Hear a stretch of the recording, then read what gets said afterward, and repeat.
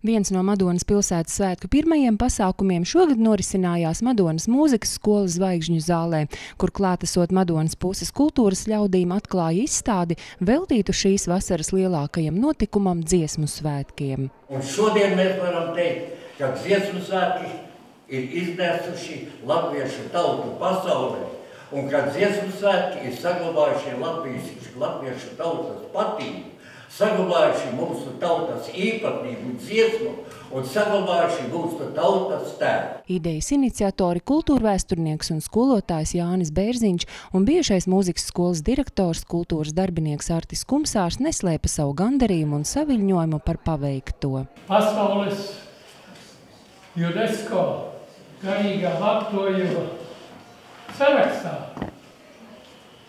Rietuvu valstu kultūras cilvēki diezgan zobgalīgi saņēma šo ideju. Es saku, ko jūs latvieši un baltieši lielaties? Tādi dziesmu svētki jau Eiropā bija jau, jau simt gadu pirms jums. Tad tā pateicās latviešu asprātībai. Tā kultūras ministrijas darbiniece bija pateikusi, mums nākošie dziesmu svētki būs nākošais gads. Kad būs nākošie dziesmu svētki vakar Eiropā? Būtis ciet, jo vakar Eiropā nemaz nevar šodien dziesmu svētkus iztaisīt. Neskatoties uz to, ka padomu valsts ārkārtīgi cīnījās pret nacionālismu, tad man jāsaka jums, ka nekur tā neplauka nacionālā nu, kā lai saka, nacionālās jūtas, kā tas notiek koros, kā tas notiek dekolektīvos, tā tā.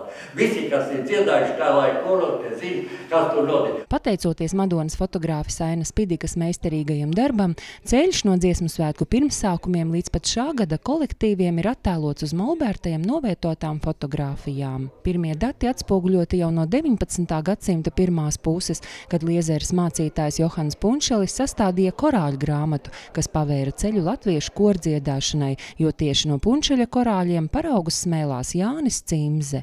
Sākumā viņš, būdams ļoti muzikāls, bija pārsteigts, ka Liezarē draudze dzied slikti, un viņš vienmēr pēc dievkalpojumiem pulcināja cilvēkus, lai nāk un māc, mācās dažādas garīgās dziesmas. Un kad viņš uzaicināja tautu nākt šīs dziesmas mācīties, tad viņš bija pārsteigts, ka pieteicās vairāk kā simt cilvēku. Izstādē minēti daudzi kordziedāšanas un deju kolektīvu skolotāji, vadītāji, kam pateicoties Madonas novadā vēl joprojām spēcīgas pašdarbības kolektīvu tradīcijas. Šajos dziesmu svētkos madonieši leposies ar trešo lielāko delegāciju valstī. Izstāde ir ceļojoša un būs aplūkojama arī visos Madonas novada pagastos.